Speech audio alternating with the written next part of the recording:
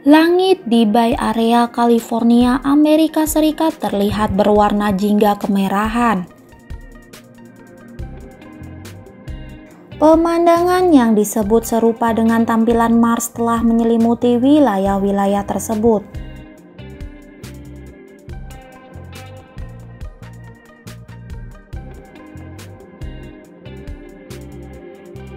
Fenomena langit berwarna kemerahan itu adalah efek dari kebakaran hutan yang terjadi di negara bagian Amerika Serikat tersebut. Hujan abu yang dilaporkan terjadi dengan api yang terlihat masih berkobar di kejauhan.